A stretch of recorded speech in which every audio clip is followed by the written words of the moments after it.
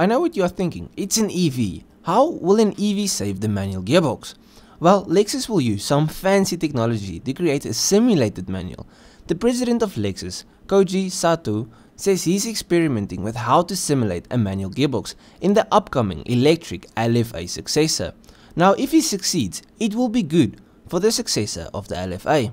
The original LFA is a unicorn car that people love and adore and it's widely known to be the best sounding V10 money can buy. And that's the problem with the new one, going from something that is known for sounding like this.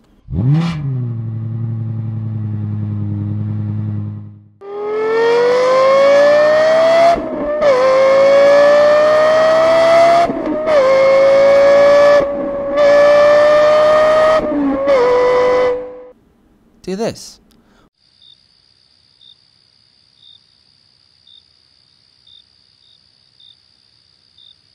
For me personally, EVs lack character. Yes, they are stupidly fast, but that's not the only important thing when you make a truly great car.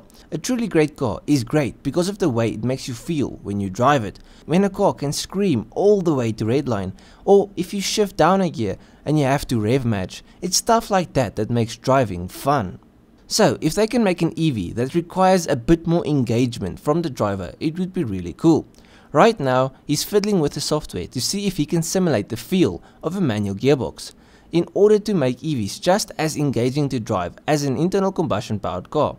Koji Sato told Top Gear, I'm looking for better engagement, even in an EV. I want another link from the car to the driver. It's not just about efficiency, I love cars and I want something different.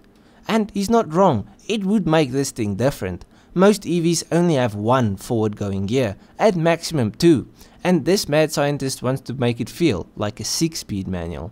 But here is my question, will this manual feel like a true manual? What do I mean? Well, here's the thing, when you drive a modern automatic car and you put it in manual mode, the car will still shift if it thinks you are doing a bad job. So if you drive a manual EV, I want to choose when the fake gear changes happen. Then comes the power delivery of an EV. I mean, they've got maximum torque at like 0 RPM. How would that work? How would you launch this thing? Will it have a clutch? Would it be difficult? And would the clutch have any feel? And then another question, could you stall this EV?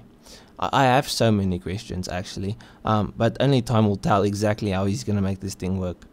All this to say, at least they are trying to keep the manual alive, and the new EV LFA will have some other things that are going for it.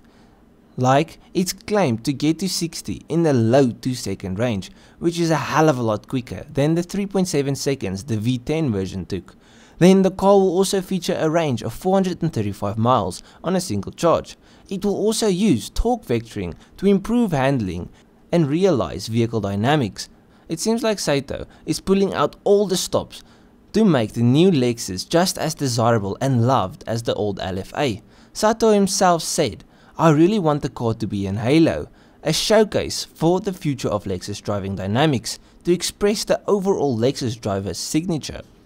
To me it seems like this dude really loves cars, and yes, EVs will never have the same character as an internal combustion powered vehicle, but I respect the fact that he's trying to make the best out of the situation.